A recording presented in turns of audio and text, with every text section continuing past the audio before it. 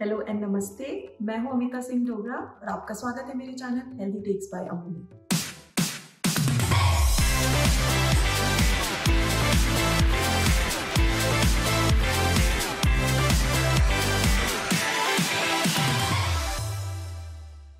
आज मैं फिर से आई हूँ आपके लिए एक हेल्दी रेसिपी लेकर।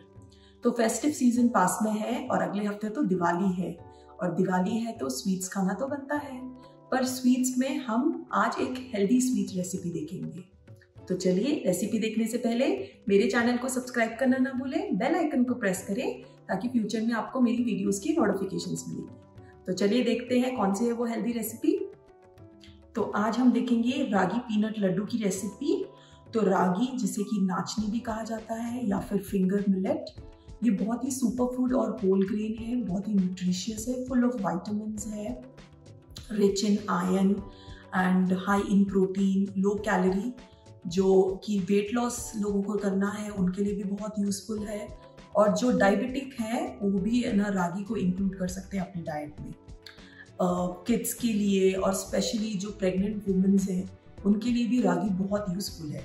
तो चलिए देखते हैं ये हेल्दी रेसिपी तो रागी पीनट लड्डू बनाने के लिए हमें लगेगा एक कप रागी फ्लार जिसे नाचनी का आटा या फिर फिंगर मिलेट फ्लावर भी कहते हैं, ये आपको आसानी से किसी भी किराने की शॉप पे मिल जाएगा या फिर ऑनलाइन भी मिल जाएगा। इसके साथ हम लेंगे एक कप गुड़। ये मैंने ऐसे पीसेस वाला गुड़ लिया है, आप इसकी जगह पे जैगरी पाउडर भी ले सकते हैं। मैंने लिया है हाफ़ कप पीनट्स ये रॉ पीनट से कच्ची मूंगफली है। ये है वन फोर्थ कप तिल, यानी कि सेसमी सीड्स थोड़े से मैंने लिए हैं किशमिश। और गार्निशिंग के लिए हम यूज़ करेंगे पिस्ता और कैश्यूज और थोड़ी सी मैंने ली है इलायची। इलायची का पाउडर करके भी हम इसमें डालेंगे। इसी के साथ हम यूज़ करेंगे घी, रागी के फ्लावर को रोस्ट करने के लिए। तो हम इसमें टू टेबल स्पून घी का यूज़ करेंगे। पहले हम सारे ड्राई इंग्रेडिएंट्स को रोस्ट कर लेंगे। तो मैं शुरू करूँगी पहले तो तिल से सेसमी सीड्स इसे हम रोस्ट कर लेंगे हल्का ब्राउन। इसको लगातार चलाते रहें, क्योंकि बहुत जल्दी लगने लग जाता है और आपको पता भी नहीं लगेगा। तो हमने इस रेसिपी में सेसमी सीड्स को, यानी कि तिल को भी यूज़ किया है, कि तिल भी काफ़ी न्यूट्रिशियस है।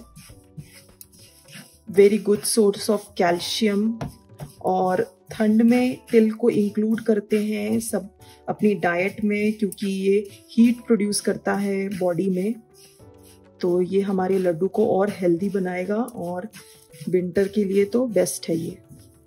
तो हमारी तिल अच्छे से रोस्ट हो गई है और लाइट ब्राउन भी हो गई है। इसे मैं एक बर्तन में निकाल लेती हूँ प्लेट में। अब हम रोस्ट करेंगे अपने पीनट्स तो ये हमारे पीनट्स भी अच्छे से रोस्ट हो गए हैं।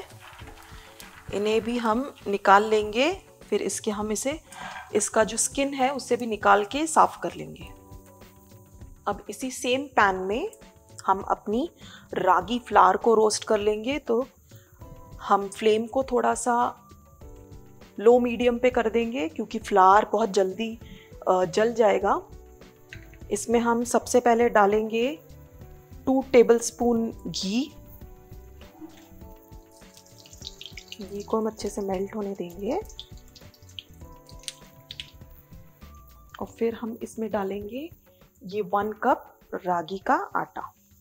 अच्छे से हम रोस्ट कर लेंगे। ज़्यादा टाइम नहीं लगेगा पर इसे थोड़ा सा रोस्ट करेंगे क्योंकि सो दैट इसका जो कच्चा फ्लेवर है वो चला जाएगा। कलर चेंज तो नहीं होगा बिकॉज़ ये ऑलरेडी डार्क इन कलर है। बट आपको एक खुशबू आने लगेगी हल्की सी फ्रेगनेंस जब रोस्ट हो जाएगा।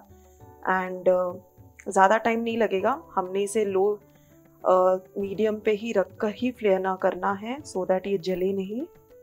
तो ये हमारा मिक्सचर है, इसके अंदर मैंने गुड़ डाला है पीनट्स जो हमने रोस्ट कर लिए थे और जो तिल है उसे रोस्ट करके पीनट्स गुड़, तिल तीनों को मिक्सर ग्राइंडर में ग्राइंड करके हमने ये पाउडर बना लिया था।